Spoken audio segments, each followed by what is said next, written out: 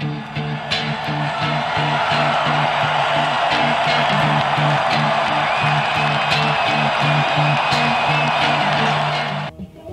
is Ryan Abraham, Dan Weber, USCFootball.com. Instant analysis here on Dedeaux Field. Friday practice, short practice, Dan. They did no pads, and they're going to do some game preparations for tomorrow. Maybe you can talk about that. Well, they're heading to the hotel. Uh, they're doing meetings. Uh, some of the guys that normally get massages the night before the game are going to get their massages. So they're some of the offensive linemen kind of excited about that.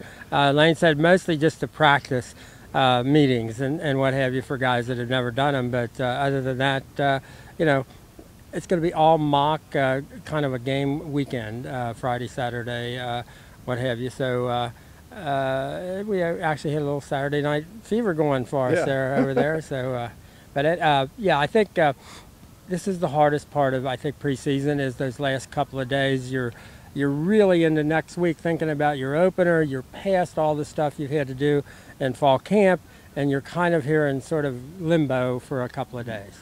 So there's two days left. You got Saturday, uh, morning practice 11:30. Sunday, I believe about 3:30 or so. Monday off for the first day of classes.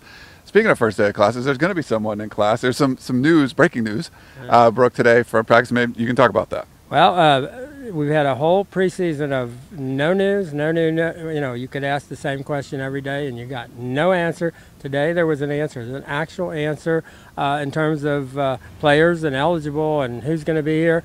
It turns out, I think the word had been like with Marquis Simmons that maybe, maybe not till the end of the season, maybe he'd be eligible. No, he's eligible right now. He was working hard today, working with Coach Scottie Hazelton. They need another linebacker. He is eligible. Brian Baucham has been basically on the edge the whole time here. He's eligible.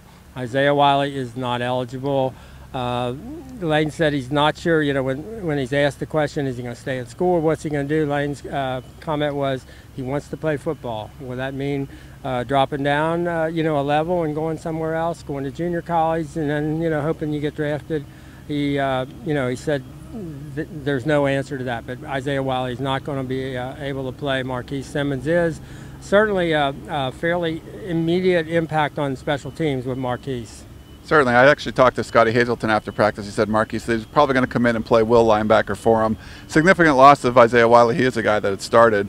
Uh, one last thing, Dan. They are doing more Hawaii prep. They're running the ones against the scout team. Asked Lane Kiffin about that. Yeah, and, and Lane, I think the answer was a really good one, and, and it's the kind of thing that you like it when Lane learns. I mean, this is the same team and somewhat the same staff that was out in the parking lot in Hawaii two years ago after seeing a report on the news on Honolulu on Friday night. They thought, oh, does that look like the pistol? We better go out and change our defense. Okay, Lane today said, we're concentrating on us. We're probably not going to know exactly what, uh, you know, new coach Norm Chow and transitional players and all that at Hawaii, what exactly they're going to do. So he said the focus is going to be on, especially on defense, is uh, us doing what we do and doing it well, and not really trying to guess what Hawaii's going to do because that would be a guess. So uh, that's a good good answer, and probably won't take anything that they see on uh, on news reports and uh, try to come up with a scouting report. Sounds like a good plan. All right. Thanks, Dan, very much. This is Ryan Abraham, Dan Weber, USCFootball.com, Instant Analysis.